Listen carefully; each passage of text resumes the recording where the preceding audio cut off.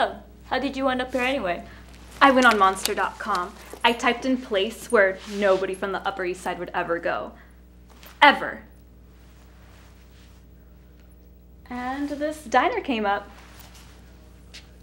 Where do you live? Our townhouse was taken and bolted up by the bank, so. Is this where I'm supposed to feel sorry for you? I mean, I don't want you to, but just so you know, a well adjusted person would. I'm dead inside. Believe it or not, you make it pretty obvious. Anyway, I'm staying in the city with a friend.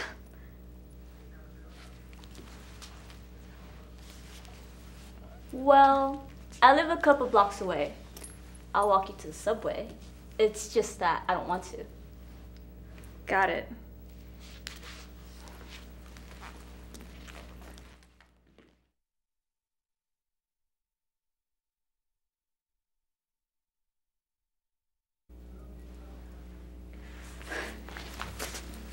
Is she dead? So? Is she dead or what? She ain't dead. So what is it? I think she's just passed out. Oh, she scared the fucking shit out of me. I thought she was dead for sure. She will be dead for sure if we don't take her to a hospital. We can't take her to a hospital. Without medical attention, this woman will live through the night.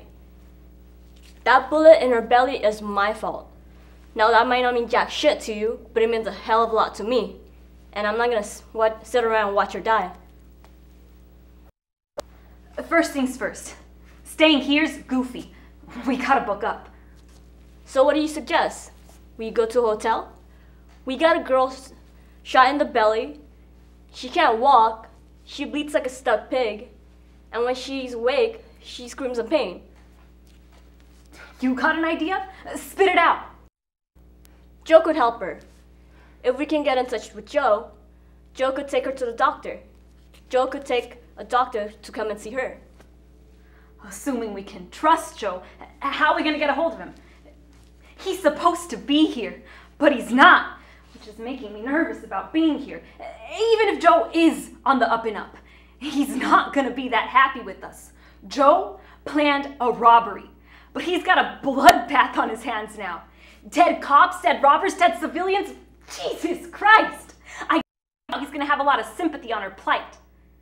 If I was him, I'd try and put as much distance between me and this mess as humanly possible.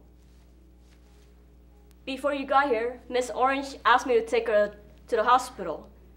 Now, I don't like turning her over to the cops, but if we don't, she's dead. She begged me to do it. I told her I told her to hold off till Joe got here. Well, Joe ain't getting here. We're on our own. Now, I don't know a goddamn body who can help her. So if you know somebody, call them. I don't know anybody. Well, I guess we drop her off at the hospital.